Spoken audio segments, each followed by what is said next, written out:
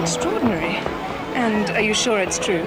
Charlotte, how could it be otherwise? Every circumstance confirms it, and Mr. Darcy has boasted to me himself of his resentful, implacable.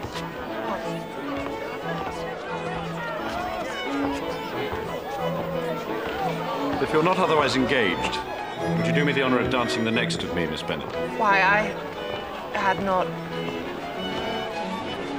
Thank you, yes. Why could I not think of an excuse? Hateful man. I promised myself I would never dance with him. He pays you a great compliment in singling you out, Lizzy. Think what you're doing.